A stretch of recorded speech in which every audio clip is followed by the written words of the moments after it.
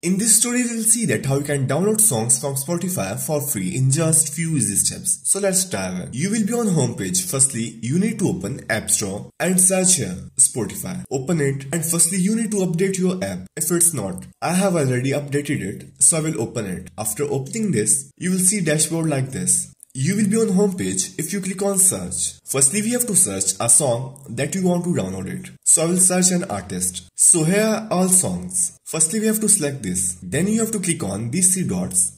And here you will get an option to add to playlist. You have to click on that and click on new playlist. Rename it to download songs. Click on create. Now, you have to select songs that you want to download. Click on these three dots, add to playlist and choose the playlist of download songs. Do this all with the songs that you want to download. Then if you click on your library, you will see your playlist here. Then you have to open it and here you will get this downloads button. And now you can play your favorite downloaded songs online. But if you want to download it offline, you can click on this download button. And here it will show you this. Click on explore premium and here you will see, if you want to download to listen offline, you can try premium. That's free for one month. After that, you can buy a subscription. So that's how you can download songs from Spotify for free in just few easy steps.